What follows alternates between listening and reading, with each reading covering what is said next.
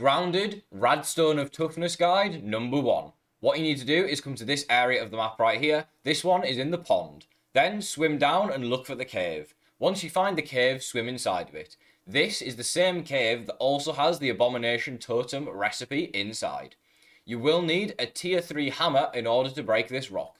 When you do break it, it's going to give you 3 tough nuggets, 3 cool tough nuggets, and 3 rad tough nuggets.